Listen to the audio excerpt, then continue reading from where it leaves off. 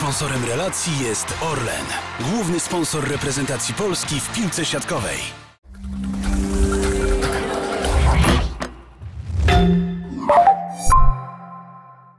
Coach, a Panie trenerze, jak wygląda siatkówka w Kamerunie? Czy chociaż po części tak jak w Polsce? like, here? No, Ani trochę. To całkowicie odmienna sytuacja. Wszystkie mecze w Kamerunie, zarówno w lidze juniorów, jak i seniorów, rozgrywane są na świeżym powietrzu. W całym kraju jest tylko jedna hala, w której gra kadra narodowa. Cała reszta rozgrywek odbywa się pod gołym niebem. To oznacza, że podczas meczów mamy i słońce, i deszcz, a pogoda w Kamerunie bywa bardziej radykalna niż w Europie. Czy występujący tu siatkarze są profesjonalnymi zawodnikami? Uh. W żadnym wypadku. Wielu chłopców pracuje w tygodniu, żeby się utrzymać, bo z gry w siatkówkę nie mają ani grosza. A mimo to wielu z nich trenuje nawet po dwa razy dziennie. Więc grają w siatkówkę i próbują przeżyć. Główną motywacją dla młodych zawodników jest awans do ligi seniorskiej, podpisanie kontraktu z którąś z europejskich drużyn i wyjazd z kraju. Kamerunowi nie idzie zbyt dobrze w tych mistrzostwach. Uh. Wiemy już, że w poniedziałek wracamy do domu. Moim chłopcom nie udało się unieść presji oczekiwań wielu ludzi w Kamerunie. Kiedy jechaliśmy na Mistrzostwa Świata we Włoszech cztery lata temu, nie było żadnych oczekiwań. Wszyscy byli szczęśliwi, że awansowaliśmy do tamtego turnieju.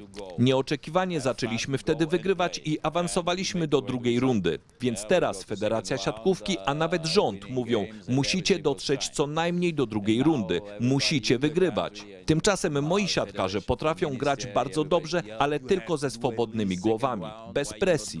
Mam nadzieję, że następnym razem kameruńscy działacze zrozumieją, jak podejść do swoich siatkarzy. Z jednej strony działacze wywierają presję na sportowcach, z drugiej niechętnie im płacą. Przed pierwszym meczem zawodnicy nie chcieli wyjść na boisko z powodów finansowych. Match. It was a very tense situation for financial problems. Unfortunately, this all time. Wielu z moich zawodników nie otrzymuje pieniędzy przez cały rok. Teraz wyjechaliśmy z kraju na trzy miesiące i codziennie ciężko pracowaliśmy.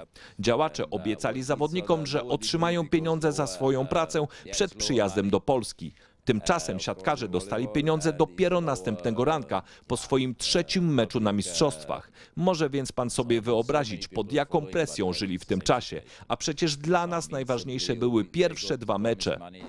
Jaki jest pański plan na mecz z polskim zespołem? To bardzo proste. To będzie dla nas najłatwiejszy mecz, ponieważ nie mamy żadnych oczekiwań. Chcemy po prostu wyjść na parkiet i dobrze się bawić, próbując przyjmować piłki i przebijać je na polską stronę siatki. Każdy zdobyty punkt będzie dla nas wielkim świętem.